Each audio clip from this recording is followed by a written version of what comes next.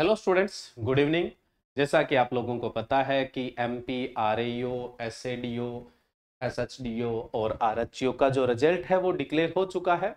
सबसे पहले तो मैं उन सभी विद्यार्थियों को बहुत बहुत बधाई व शुभकामनाएँ देना चाहूँगा जिन स्टूडेंट का चयन हुआ है। और जिनका चयन नहीं हुआ है, उनको घबराने की कोई ज़रूरत नहीं है। हमेशा इसी थ्योरी पे काम करना है, तू नहीं तो कोई और सही, है ना?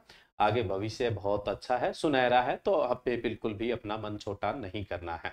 और जिन विद्यार्थियों का चयन हुआ है, उनके उज्जवल भविष्य की शुभकामनाएँ। और देखिए स्टूडेंट हर बार की तरह इस बार भी ऑनलाइन एग्रीकल्चर ने एमपी के अंदर अपना शानदार प्रदर्शन किया है। और हमें उम्मीद है कि सबसे ज़्यादा चैन देने वाला जो प्लेटफॉर्म है वो ऑनलाइन एग्रीकल्चर है।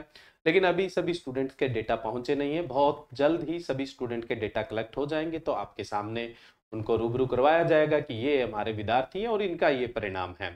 तो जो भी स्टूडेंट इस प्लेटफॉर्म से जुड़े हुए थे, जिनका अंतिम रूप से चयन हुआ है तो वो व्हाट्सएप के माध्यम से या फिर यूट्यूब में भी कमेंट बॉक्स के अंदर मैसेज ज़रूर करें ताकि पता लग सके भी कितने स्टूडेंट्स का इस प्लेटफॉर्म के माध्यम से हुआ है। देखो सिलेक्शन तो आपकी मेहनत से हुआ है, बस ये प्लेटफॉर्म तो आपके लिए एक छोटा सा सहारा था।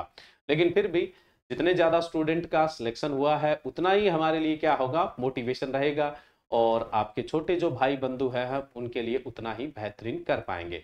तो जिन जिन विद्यार्थियों का चयन हुआ है तो वो यूट्यूब के माध्यम से या व्हाट्सएप के माध्यम से या किसी और माध्यम से कॉन्टैक्ट करें और अपना रिज़ल्ट है वो ज़रूर भेजें। Okay thank you